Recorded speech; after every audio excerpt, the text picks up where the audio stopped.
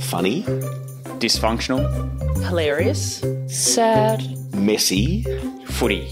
Heartbreaking. heartwarming. Roller coaster. Real.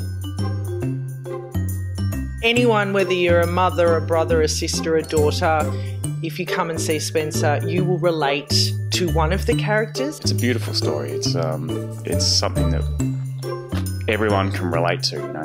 It's funny. It's everything. Going to the theatre is pretty much of a crapshoot. You just don't know what you're going to get, and it's a lot of money. But with this show, you're absolutely guaranteed to be entertained and have just a fabulous, uplifting night.